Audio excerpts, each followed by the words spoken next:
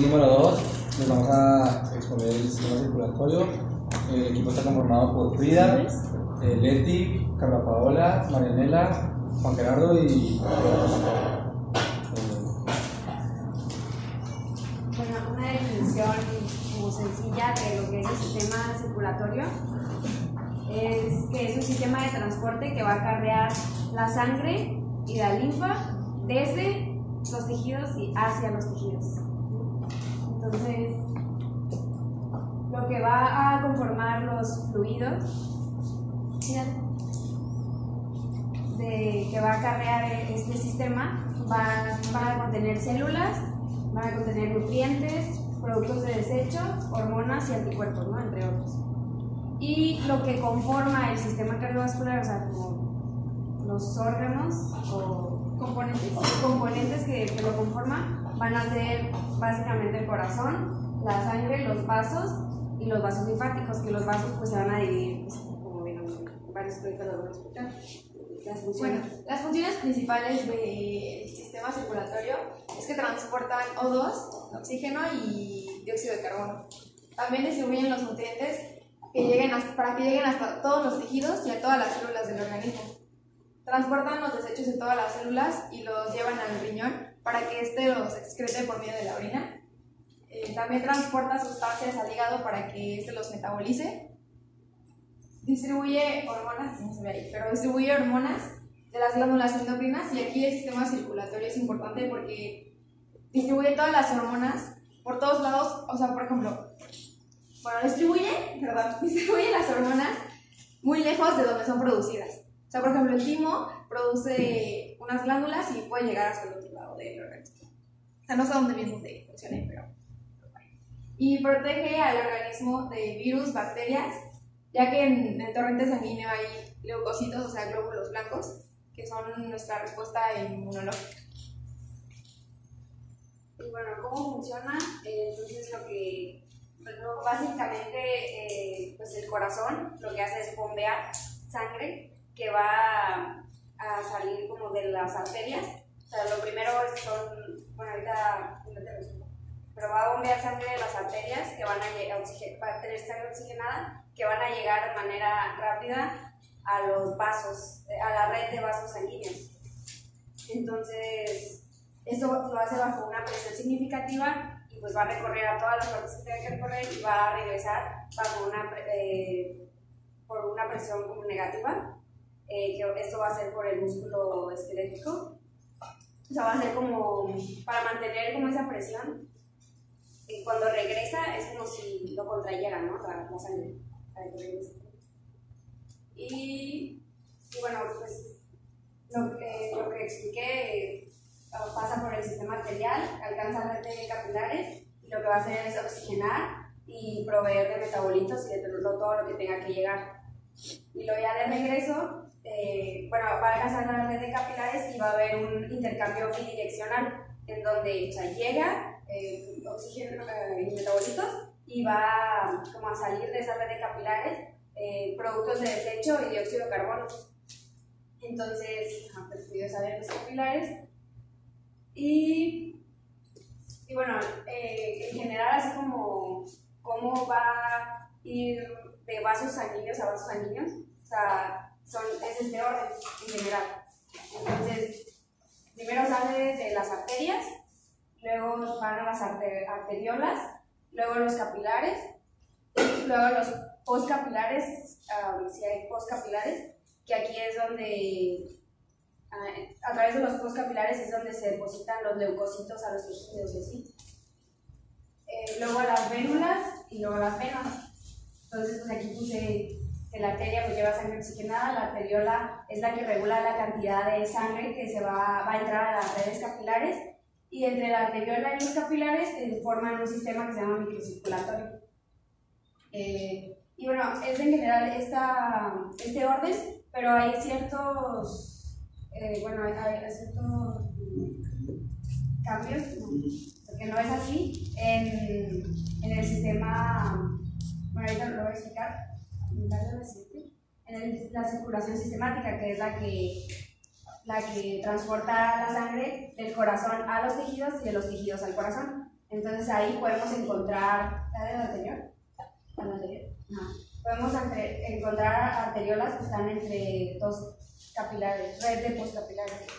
Entonces a esto se le va a llamar un sistema de portal, pero en general pues va así el orden. Y, y hay dos tipos de circulación.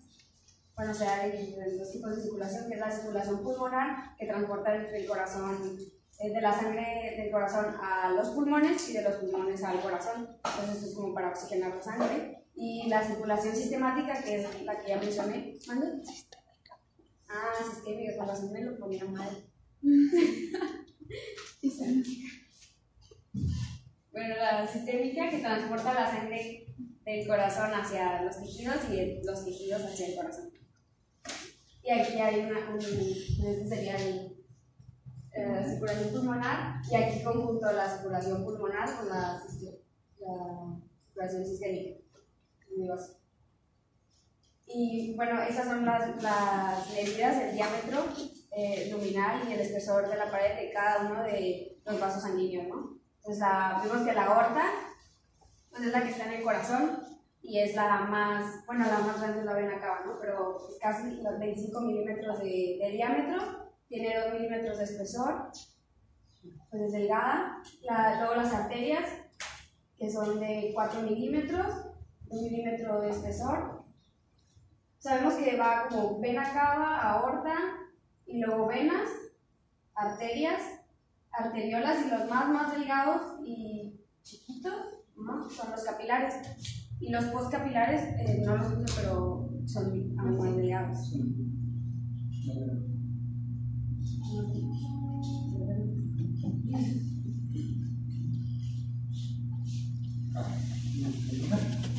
Eh, bueno, esas son las características, pero los tejidos que conforman al sistema circulatorio, pues son tres. Son, es el es, epitelio, que es el endotelio, eh, el tejido muscular y tejido conjuntivo. Pero estos este, pues están en las paredes de los, de los vasos, pero están en diferentes proporciones dependiendo de, de los vasos que los, que los revisten. Bueno, el, endotelio, eh, pues es, es como la, la, capa más externa, es, es, epitelio plano simple. Y este, pues, tiene este, varias características funcionales dependiendo de los vasos, pero pues una importante es que forma una barrera semipermeable eh, que está interpuesta entre el plasma sanguíneo y el líquido tisular. Eh, pues aquí este, pues con esquema, ¿no? De lo que sería pues el, el epitelio, ah, está cubierto por una membrana, membrana basal, pero. Pero aquí se ve pues que sería este, ¿no? Que es el endotelio, que es la capa más, más externa. No, o sea, ese es el endocardio, esa es la capa, ah, con el endotelio es ah, la capa más chiquita del endocardio. Sí, pues vamos a ver el epitelio, no sé. Pues ahí casi los casi mucho. Sí, bueno, y el, tejido muscular, pues, está en, las paredes también eh, de, los dos sanguíneos, está en la, en la, túnica media. Más adelante mi compañero Gerardo les, va a hablar sobre las túnicas. Eh, pues, pues, pues, básicamente eso, ¿no? Que están este, hechas de, de eh, células musculares. Listo. ¿Dale? Pues aquí sería, pues sería pues estas son las, son las tónicas, que ahorita les voy a hablar, y pues las células musculares se Y el tejido eh, conjuntivo. Bueno, pues estas están en paredes de los dos sanguíneos también y son fibras de colágeno y fibras elásticas. Eh, pues está el esquema, pero darle a la. Pues aquí se ven estas las fibras de eh, elásticas y fibras de colágeno. Si quieres, regresate a la siguiente. Ahora digo, a la, atrás, atrás. Aquí, este, pues vendría siendo, esta está en la, en la, en la túnica adventicia, que es así este. Eh, yo voy a hablar qué es el órgano, más el circulatorio. Y bueno, el corazón lo conocemos como la bomba del motor, ya que por medio de impulsos transporta la sangre a todo nuestro organismo. Y bueno, Normalmente todos decimos que nuestro corazón se encuentra de este lado, pero en realidad no se encuentra aquí. Se encuentra arriba del diafragma, se tocan sus costillitas y las unen, en donde se juntan las costillas, ahí arriba se encuentra su corazón. y bueno, eh, voy a explicar en este diagramita cómo funciona la sangre, cómo entra y sale. Ustedes respiran, entra la sangre llena de oxígeno por nuestras venas pulmonares, se dirigen a nuestra aurícula izquierda, que pasa por la válvula mitral hacia nuestro ventrículo izquierdo y sale por nuestra aorta por medio de la válvula aórtica. Ya que pasa el proceso de, distribuir el oxígeno y, recoger el dióxido de carbono, entra por la vena cava inferior y vena cava superior a la aurícula derecha, pasa por la válvula tricúspide al ventrículo derecho y sale por nuestras arterias pulmonares, bueno, por la arteria pulmonar por medio de la válvula pulmonar. Bueno, el ciclo cardíaco es la secuencia de contracción y relajación. Cuando se contrae nuestro corazón, saca toda la sangre y se, se denomina sístole. Y cuando se relaja, que es cuando se llena el corazón, se denomina diástole. Nuestro corazón tiene tres capas. Eh, es el pericardio, el miocardio y el que está hasta adentro es el endocardio. O sea, aquí es el diagramita, pero nuestro corazón, todo el corazón está envuelto en los tres Y el pericardio y el endocardio, ambos tienen epitelio plano eh, bueno, el corazón tiene un sistema eléctrico propio que se denomina el sistema conector, y es el que se encarga de dar las contracciones para que el bombeo de sangre sea efectivo. Y todo eso está regulado por el sistema nervioso. Y bueno, eh, lo que permite generar la corriente eléctrica que, que se transmite es la inestabilidad de, la, de, las membranas de las células Eso hace que se, se transmitan. Y bueno, empieza, empieza por el nodo, nodo auricular, que es el que da el primer impulso nervioso, y pasa a nuestras aurículas. De ahí pasa al nodo auriculoventricular, el cual distribuye a nuestros ventrículos y pasa a las seis, son estas dos como ramitas, y llegan a las fibras del Purkinje. Son las importantes.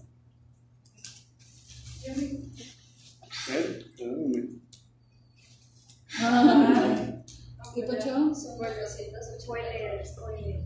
Hola. Ya no van a querer escuchar. Bueno, llegan a las fibras del Purkinje son las que se encuentran en el corazón. ¿Me das aquí, por favor?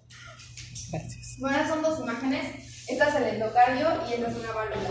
El endocardio, como pueden ver, está en endotelio, que es la fibra, digo, es la capa más delgada, y se llega a ver así las células planas, pero muy delgaditas. También se ven las fibras del Purkinje, son estas. Se ve el tejido conjuntivo, y esta parte es donde empieza el miocardio. Es como que esta parte es el miocardio. ¿El miocardio? Y aquí se encuentra, bueno, observar una válvula. Esta como capita es el, el endotelio. También eritrocitos. Esto, esto es el endocardio, es la capa chiquita del endotelio. Y pues bueno, yo les voy a hablar de las túnicas.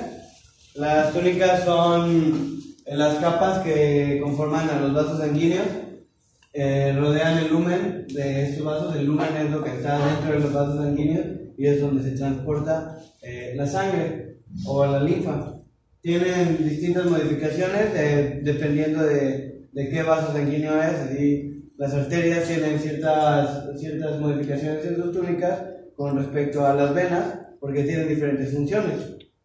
Se encuentran de una manera eh, rudimentaria en vasos linfáticos, así que en los vasos linfáticos también existen túnicas, pero no, no están tan bien definidas. Eh, la túnica íntima es la túnica más eh, céntrica, la que está pegada al, a la luz o al lumen. Aquí se puede observar la túnica íntima.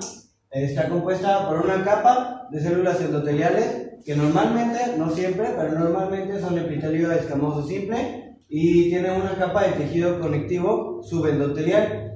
Eh, es muy, muy, muy delgada normalmente se ven solamente los núcleos de la célula, aunque a veces se puede llegar a ver el citoplasma, y eh, las células eh, del endotelio presentan, son oleocludentes, que son uniones estrechas, eh, también tiene una lámina elástica interna que es lo que lo separa de la túnica, de la túnica media, que es el- el- la próxima túnica. Y bueno, esta lámina no está en, en todos los, los vasos, pero pues sí, su eh, eh, esta túnica es muy importante porque regula mucho el paso, qué, qué tanto pasa de, de adentro del, del lumen hacia afuera.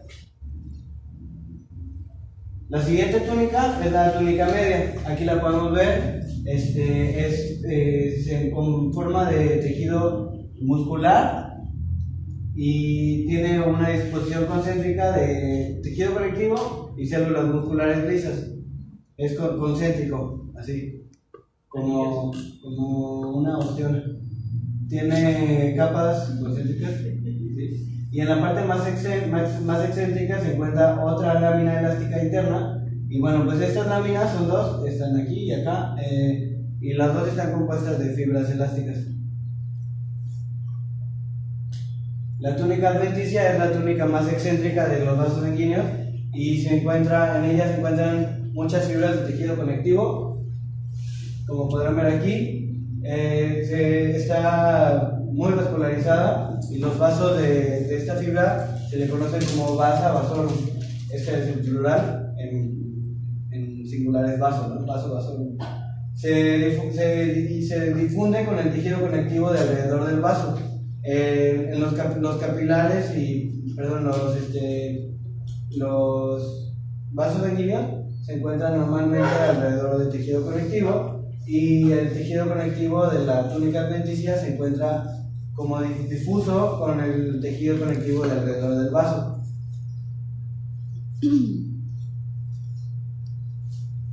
Y bueno, este, hay diferentes tipos de vasos sanguíneos que son de los que vamos a hablar a continuación.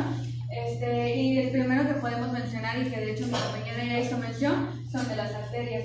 Este, las arterias este, tienen la- son los, los vasos sanguíneos eh, que se encargan de transportar la sangre oxigenada desde el corazón hasta los órganos este, por medio de, pues, su- de sus ramificaciones. Estas son ramificaciones sucesivas de diámetro decreciente, es decir, que cerca del corazón estas arterias tienen un diámetro mucho mayor que las ramificaciones que se encuentran más lejos del corazón.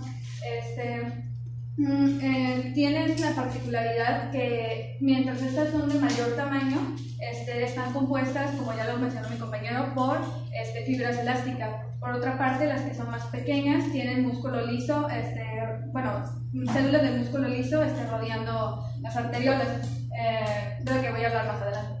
Ah, la pared de las arterias tienen la particularidad de que contienen un par de membranas este, que ah, separan las diferentes capas de, de las arterias. Este, la primera a mencionar es la lámina elástica interna, la cual separa la túnica íntima de la túnica media, y la lámina elástica externa, que separa la túnica media de la túnica adventicia.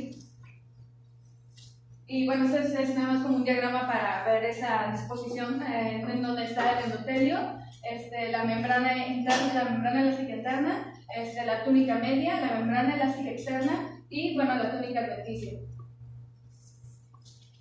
Y bueno, ah, se puede, ah, por esta disposición que ya, por esta clasificación que ya mencioné, el cual es el tipo de pared de la arteria y el grosor de la misma, se pueden dividir, en- se pueden clasificar en dos tipos de arterias, las arterias elásticas y las arterias musculares. Las primeras este, son arterias de gran calibre. Este, tienen, eh, pues los autores lo mencionan, que tiene mayor de 10 milímetros de grosor, de diámetro. Este, reciben la sangre del, colo- del corazón a presión elevada y tienen la función de que estas eh, manti- eh, mantienen la sangre, eh, la retienen por un momento eh, en lo que el corazón bombea y así este, ellos, estas, las arterias controlan el flujo sanguíneo. Este, independientemente del bombeo del corazón, ellas mantienen estable el flujo sanguíneo. Ah, mantienen la sangre circulando, ah, bueno, es lo que ya dije, mantienen la sangre circulando de forma continua, continua aunque el corazón bombee de forma intermitente. Y bueno, este, ¿le- ¿crees? Y bueno, se distinguen cinco capas. Eh, la primera a mencionar, la túnica íntima, de la parte más cerca de la luz, este, la cual está compuesta por células endoteliales que pues, básicamente nada más se distinguen los núcleos y son ah, muy aplanadas y pues, los núcleos también son muy alargados. Aquí la verdad pues, no se alcanza a distinguir, están muy pequeñas como para ser distinguidas, sin embargo pues, la mencionan que están como que en la parte más superior cerca de la luz. Este, seguida por la lámina elástica interna, la cual no, aunque esté ahí, no se distingue. Sea, yo, yo no veo ninguna membrana aquí, sí, para, y bueno, igual y en otras funciones sí se distinguen, pero esta eh, es el metoxilina es un corte de aorta, eh, pues no, la verdad no se distingue. Eh, la túnica media está compuesta, esto, está compuesta por células, ah, por, bueno, sí, células musculares, este, las cuales están entre fibras elásticas y ah, también podemos encontrar otras cosas como ah, fibras de colágeno, proteoglucanos y glucoproteínas. La siguiente capa es la lámina elástica externa, la cual puede, ser- puede que distinguirse, pero pues, probablemente sea por la diferencia de color entre la próxima capa y la túnica media. Hay, hay otras tinciones que resaltan más la, estas Las la- láminas. las láminas elásticas, ¿no? O sea, con hematoxilina y eosina no se ve mucho, pero pueden agregarle otra- otras tinciones secundarias que hacen que se marquen más el, las, Los eh, bordes. las láminas, sí. Sí, de hecho, pues a continuación no se iba a explicar, pero gracias ya. Este, la túnica adventicia este, es la, la capa más externa, este, la cual eh, esta tiene, eh, es, es delgada a comparación de, pues, del resto de las capas este, y está compuesta por tejido conjuntivo, eh, lácteo y fibras elásticas. Este, esta es otra función, eh, del- es el mismo, el, mismo- el mismo vaso eh, arteria, con otra función, esta es función básica y azul de tolubina, en el cual pues, las fibras elásticas se resaltan mucho mejor. Este, aquí también te señalan el, el endotelio en la parte superior, que pues igual sigue siendo muy pequeño, este, la túnica interna, todo esto de aquí, y, y aquí no se ve, pues yo, pues igual se pierde entre tantas fibras, se pierde la membrana. Este, la túnica media es pues, la que sigue, y aquí señalan eh, una lámina elástica cálida. Y ah, finalmente la túnica adventicia, la cual este, pues tiene lo que conocemos como los vasos vasorum, que ya lo mencionó mi compañero, este, alcanza eh, esta, esta capa y también la capa externa de la túnica media, o sea, puede llegar a abarcar no nada más acá abajo, sino más arriba. Y ah, la, eh, estas, eh, los vasos vasorum ah, tienen la función de transportar nutrientes a, a esa parte del tejido y del otro lado, las que no tienen vasos eh, es por simple difusión, los nutrientes. Y bueno, ay, ¿puedes darle una para atrás? Uy, me quitaron, sí, ya. Es que aquí en la siguiente había una transición en donde pues me permitía ver el texto, pero ya no se ve el texto. ¿Te puedes explicar el texto, por favor? ¿Sí o las No, sí, así se ven, gracias. Este, bueno, las siguientes a mencionar son las arterias musculares, las cuales eh, tienen un, un grosor eh, mucho, men- eh, mucho menor. Este, la toman como de, ah, de las arterias que tienen el grosor, el diámetro de 10 milímetros a punto un milímetro, abarcan todo ese, ese, ese espectro. Este, y bueno, este, ah, esta tiene la particularidad que la capa íntima, la, la, la capa túnica, sí, no, tiene la íntima, este, la parte más cercana a la luz, este, esta está, ah, tiene marginaciones, las cuales ah, llegan hasta las células, llegan a- hasta donde están las células musculares. Mm, la lámina elástica, eh, pues es de, de ese menor tamaño, elástica.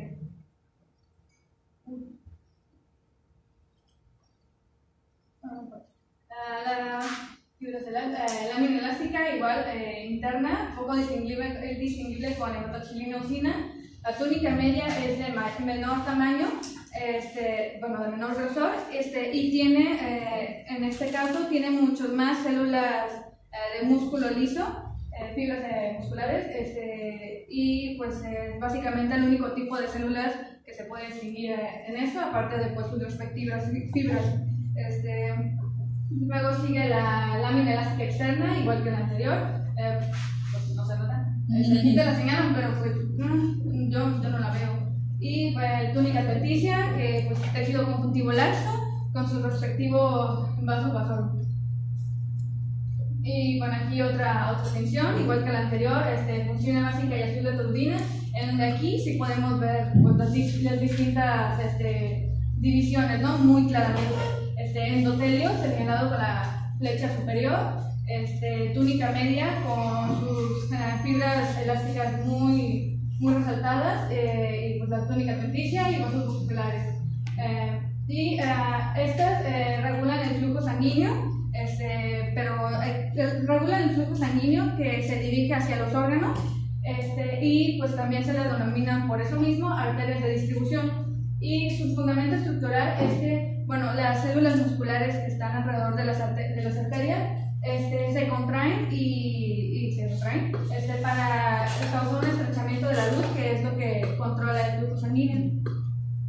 Y bueno, aquí es otro, otra imagen en donde es para, aquí está la luz con sus eritrocitos, este, más como que para que vean eh, que se distingue bien bonito, este, los vasos vasorum que recordando eh, nutren esta parte de aquí y la luz que nutre la parte de acá arriba.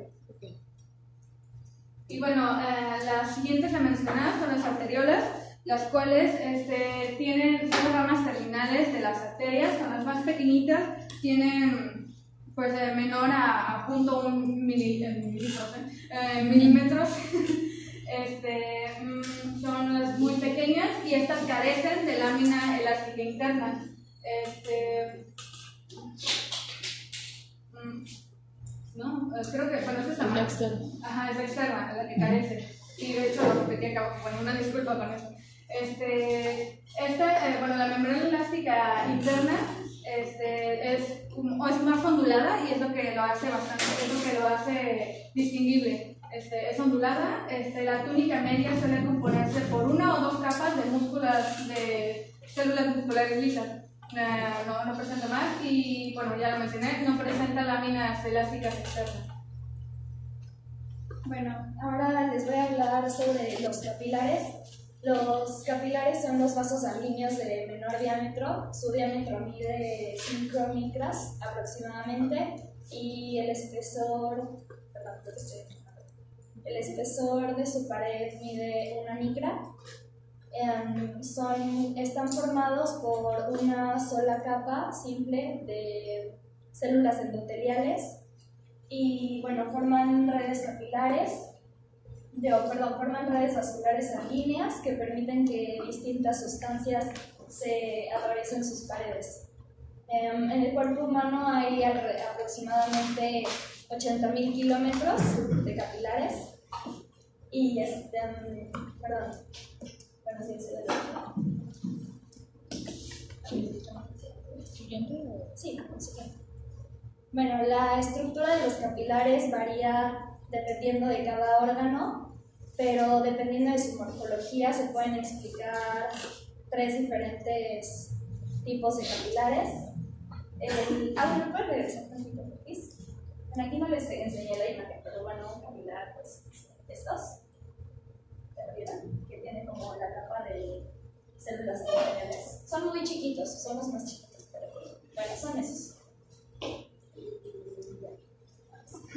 Ay, perdón. Bueno, como les decía, el primer tipo de capilar, según su morfología, es el capilar continuo, que mm, es típico de, bueno, es típico encontrarlo en el músculo, en los pulmones y en el sistema nervioso central. En, en algunos de estos capilares se pueden encontrar pericitos, también conocidas como células de Bruyère, y bueno, están asociadas con el endotelio. Son estos. Sea, este es como un corte transversal de un capilar. Pero son tan chiquitos que esto obviamente es microscopía electrónica. Esto nada más es un esquema. Pero nunca lo van a hacer- ver así en las laminillas que vamos a ver. Solo los van a ver como la primera imagen que les muestre. Después, el segundo tipo de capilar son los capilares fenestrados, que son típicos de las glándulas endocrinas y los, los sitios de absorción de líquidos y metabolitos, como la vesícula biliar, los riñones y el, el, tubo digestivo. Em, se caracterizan por, por tener fenestraciones o poros a lo largo de la pared capilar. Así, son como canales a lo largo de la pared capilar y pues esa es su característica principal. Aquí en este esquema podemos ver la comparación entre un capilar continuo y un capilar fenestrado. Por ejemplo, aquí en mi fenestrado se muestran los canales, dos canales, que son por las fenestraciones, como pueden ver, son todas estas. Y mm, bueno, en el capilar continuo, este es el pericito, pueden ver, es una célula con un núcleo grande y monocromático. Um, la. Eh, la tercera morfología de los capilares son los capilares sinusoides, que son típicos del hígado, el vaso y la médula ósea. Em, este tipo de capilares tienen un diámetro mayor a los demás y son más, su morfología es más irregular a los otros. También las características de esta, de esta forma de capilares varían en cada órgano y, e incluye células especializadas dentro de ellos para cada, para cada órgano. Y en este esquema podemos ver los, las tres morfologías de los capilares que acabo de mencionar. Este es un capilar continuo, este es una membrana basal, esta es la pared formada por células endoteliales. Em, después tenemos el fenestrado, que tiene los canales o fenestraciones, como se muestra aquí. Y por último, este es el sinusoidal, que su forma es más irregular y su diámetro es mayor y tiene una membrana basal discontinua y también una, bueno, eh, una membrana intercelular también discontinua. Bueno, eh, las vénulas, eh, que son la continuación de los capilares, también se llaman poscapilares, pues es una capa, bueno, ahorita olvidé mencionar que pues todos, todos los vasos están cubiertos por lo que es el, el, el endotelio, el tejido muscular liso y el tejido conjuntivo, a excepción de las capilares y de las vénulas, que nada más tienen endotelio y, y, su membrana basal. Bueno, las vénulas tienen también unas eh, células que son los pericistos. Estos tienen este, varias, varias funciones, como el, intercambio de, de moléculas de, de, la, de la sangre a tejidos y también este pues bueno, facilitan ese, ese transporte de células y también tienen este, interacción en procesos de, de inflamación, porque son mediadores de, de la inflamación.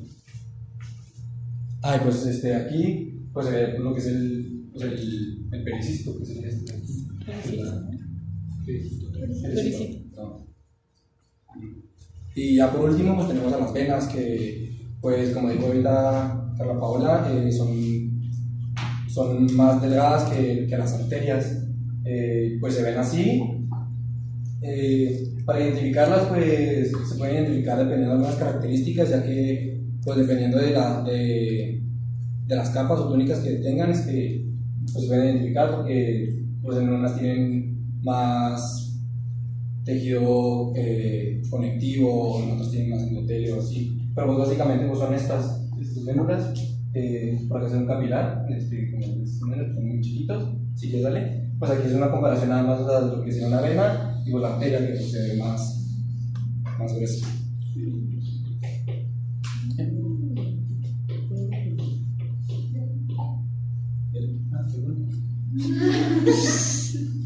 Bueno, yo ahora les voy a hablar sobre los vasos linfáticos, que son otro tipo de vaso y que difieren esencialmente de los otros vasos sanguíneos porque estos no transportan sangre, transportan linfa, que es eh, un- la linfa es un ultrafiltrado del plasma y es de 1 al, es pura agua y de 1 al 5% de proteínas. La linfa surge porque el- en los vasos sanguíneos excretan eh, agua y sus diferentes componentes lo, lo- lo excretan y con cierta presión. Esa presión se, se, am, en, en todos los tejidos se acumula y los vasos linfáticos lo que hacen es drenar esa presión y volver a, a meter todo lo que salió del- del- de los vasos sanguíneos, volver a introducirlo a ellos después de, de pasar por diferentes procesos. Eh, hay eh, dos o tres litros de linfa por cada 24 horas son lo que nosotros movemos en nuestro sistema linfático y los, los vasos linfáticos tienen la propiedad de tener una gran permeabilidad porque son todavía mucho más delgados que los vasos sanguíneos. Aquí Ay, perdón. también presentan este, varias eh, Válvulas. válvulas, perdón. ¿Ya? Ya, gracias. Eh, ah, como, como los vasos sanguíneos, los vasos linfáticos también tienen su, su orden. Los más pequeños son los capilares linfáticos que obtienen ese líquido eh, intercelular y tienen un extremo abierto. Entonces eh, ahí obtienen todo, todo el líquido y solamente so- están compuestos de endotelio y tejido conectivo, una pequeña capa, son muy pequeños. Normalmente lo- los vasos colectores son el, el siguiente tipo de vaso linfático y acompañan normalmente a las venas. Las válvulas eh, de, los vasos, de los vasos colectores son, son muy continuas y están muy cercanas entre sí. Y eh, eh, en este orden, en los vasos colectores, pasan por los ganglios linfáticos que procesan la linfa. Después siguen los conductos linfáticos, que es- es- están, son más grandes. Estos sí tienen las túnicas, presentan las túnicas, aunque no tan bien definidas como en los vasos sanguíneos. Y, y el conducto torácico es el vaso linfático más ancho del cuerpo y se encuentra aquí, aquí está el diagramita, aquí va subiendo, todo esto es el conducto torácico, esta partecita verde de aquí, y se devuelve a la sangre eh, en, la, en la vena subclavial. Bueno, esto es en humanos, ¿no? En, en, en mamíferos, pero no en, todas las, no en todos los organismos. Em. Y bueno, ahorita les voy a mostrar una laminilla que es, es un corte longitudinal este, del, del ventrículo izquierdo y del atrio izquierdo. Entonces se va a mostrar este, la, esta, este pliegue que es el, La válvula mitral. sí, la válvula mitral y parte de, de aquí. ¿De nuevo? Sí, así. Ok. Todo esto es el atrio izquierdo, o sea, el de arriba. La auricular. O atrio. No, este es el Auricular. atrio. Ah, el atrio. No. Y este es el ventrículo, ¿no? Entonces, lo que podemos ver primero es que, o sea, todo está recubierto de, del endotelio. O sea, allá arriba, acá arriba, es el endotelio plano, ¿no? El endotelio plano simple. Y luego aquí también es el endotelio plano simple. Y luego lo que se ve acá, pues es la cámara, ¿no? Dentro de, del corazón, o sea, la cámara de. La anterior. ¿no? Ah, la anterior. Ah, pues sí. Y luego vemos eh, con- con- conectivo aquí. Y luego podemos ver acá abajo que pues, la- las únicas como células que se ven diferenciadas, ¿con dónde creen que están? Que se, que se vean células, pues. Pues. No, ¿Ves las células? Ah, en ese, en ese, ahí sí, en ese. Ah, en la imagen. Entonces, ¿a dónde se puede? Es que no. ¿Cómo? ¿A dónde pueden ver células? A ver, ¿Eh? a ver. ¿Células endoteliales? No, diferenciadas. Oh, Ahí, ¿no? Ahí. Bueno, estas son las células de Purkinje que las mencionó eh, Frida, que también las vimos, en- bueno, se llaman fibras de Purkinje. Células de Purkinje son, es el tejido nervioso, ¿no? Pero pues el mismo señor, pues, Purkinje, ah, descubrió, ¿no? Entonces esas son, en el- se llaman fibras eh, de Purkinje, pues son células musculares que tienen la especialización de conducir los impulsos eléctri- eléctricos, ¿no? Entonces, pues aquí vemos, ah, y la característica es que son muy grandes. Entonces, si vemos como un corte de corazón, y vemos como que células grandes, son células de Purkinje, y el núcleo es redondo, núcleo redondo, redondo, y se ve aquí, bueno, ¿qué crean que son estos? O sea, ¿qué, qué tiene la, el tejido cardíaco? Digo, el tejido contigo. el tejido cardíaco, ¿qué tiene? ¿Cómo? Los discos intercalares, ¿no? Tiene discos intercalares. Entonces aquí podemos ver. y luego, este. Y luego abajo. se ve- ah, bueno, es- este es el atrio. No, el nódulo atrioventricular, ¿no? lo que separa el atrio del ventrículo. Eh, células musculares. Tejido Purkinje, de Purkinje y tejido conectivo bueno, aquí el denso, eh, más células musculares, tejido conectivo denso otra vez. Esta es la válvula mitral que les dije que, la- que les iba a mostrar. Y pues el ventrículo.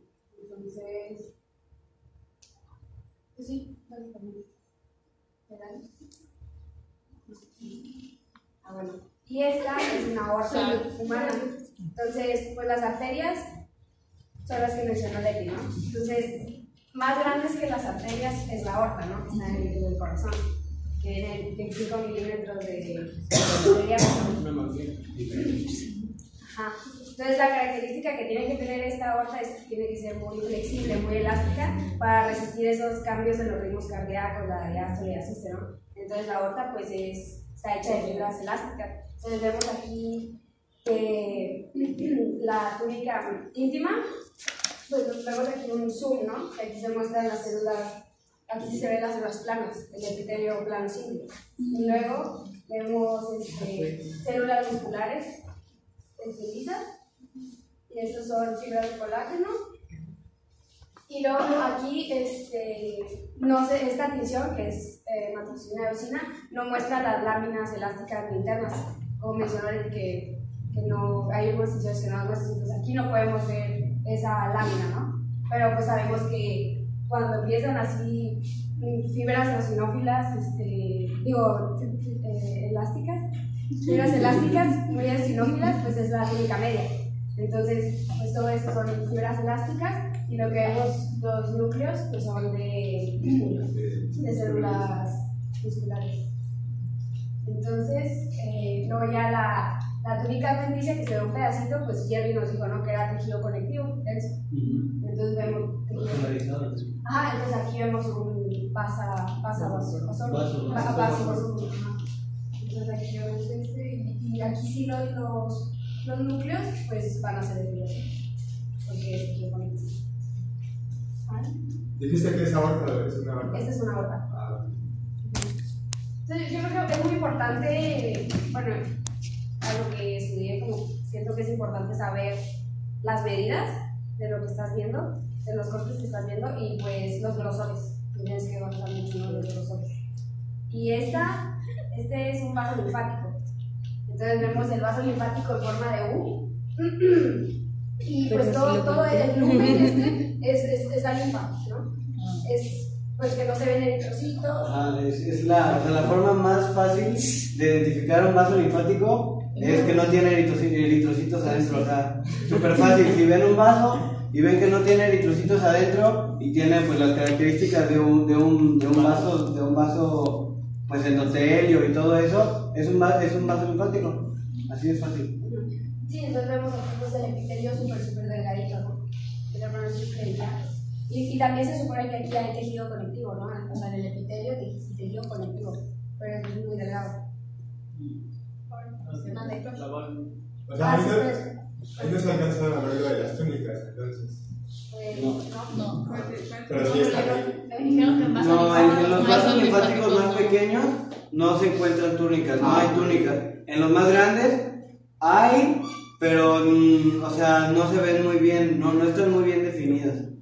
¿Y eso es un capilar o? Eh, eso, eso es un, es un capilar eh, linfático, eh, porque nada más se ve Es un una... vaso, ¿no? Es un vaso, ¿no? Ajá, un vaso linfático, es que todos son vasos linfáticos. Este, es, es el de los más chiquitos y nada más se ve así una capa de célula. Ya, Perdón, pero Paola. Y son, son más anchos, son, o sea, con respecto a sus contrapartes del, de, de los, vas- de los vasos sanguíneos, o sea, los, los vasos linfáticos chiquitos son más anchos que los vasos, que los vasos este, sanguíneos chiquitos. Sí.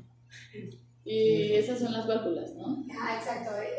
La característica de los vasos linfáticos es que tiene válvulas. Entonces vemos, y la válvula en realidad es epitelio, ¿no? Es, es como un pliegue, pues, así del epitelio, que pues es este, las flechas lo, lo marcan en la válvula. Entonces la válvula lo que hace es, pues, también de esta manera controla el flujo de que va a salir y va a entrar de, de, De la linfa. Y pues aquí celular. Y acá esta, esta es una arteria coronaria humana y pues aquí también podemos ver eh, la túnica íntima, la túnica media y la túnica adventicia, donde la túnica adventicia se ve más bien como un tejido conectivo laxo, ¿no? O sea, que el- el- la- no, la la- Y aquí se puede ver la lámina elástica interna, o sea, se, se marca bien, y la externa, pues no. No se marca. Ah, y aquí en esta sí se puede, también es una arteria. Y sí se puede ver las dos láminas. Sea, la lámina, la lámina interna y la lámina externa.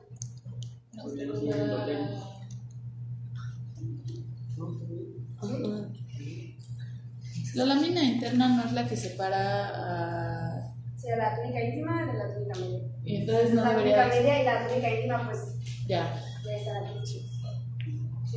Para arriba. Bueno. Puedes estar Ay, perdón. Ya me convenció. Y pues eso todo.